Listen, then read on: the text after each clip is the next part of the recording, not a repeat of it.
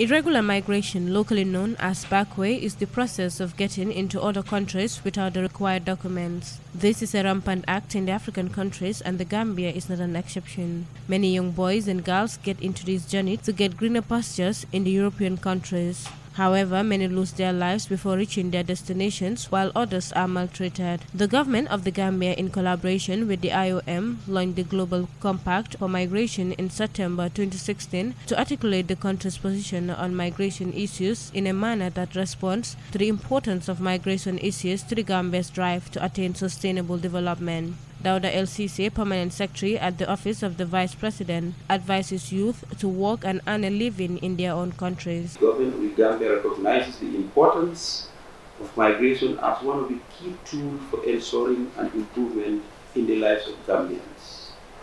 The government is very much aware of and is very actively following up on the dire situation for young men and women that are exposed to their attempt to migrate irregularly. The best option for our youth is to live and work here in their own country. And the government is committed to undertake all necessary actions to create the enabling environment for adequate job creation.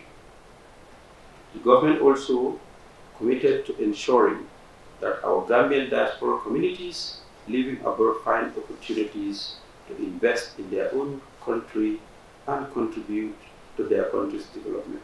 Fumiko Nagano is the chief of mission IOM, while assuring their support to the government, highlighted some of the objectives.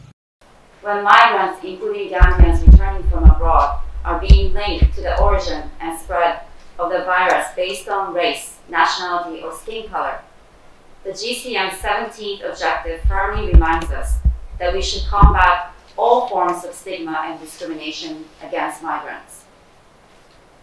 When Gambian children are crossing the border from Senegal at the height of the pandemic, the GCM's seventh objective reminds us that their protection and best interest should be our number one priority.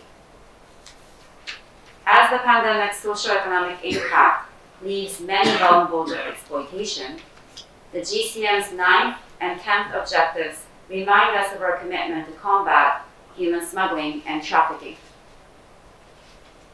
When our Gambian migrants abroad are excluded from accessing quality healthcare due to their migratory status, the GCM's 15th objective reminds us of every nation's obligation to provide basic services to migrants regardless of status, to quote unquote ensure the delivery of basic social services, including healthcare, education, housing, and social protection. Global Compact for Migration is the first developed comprehensive frameworks on migration through intergovernmental negotiations in the United Nations. Part of the Gambia's support programs of the government is the Youth Empowerment Project, a campaign that is set up to change perceptions regarding irregular migration and creating job opportunities for the youth. Reporting for Paradise TV News, Awa Toure.